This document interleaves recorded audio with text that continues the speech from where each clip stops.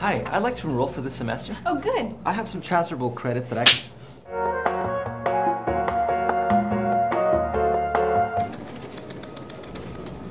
What seems to be the problem? Well, I'd just like to enroll. I have some transferable credits and I got slapped for it. We don't do that here. It doesn't have to be that way. At Southwest University, transferring credits is a painless process. Southwest University makes you happen.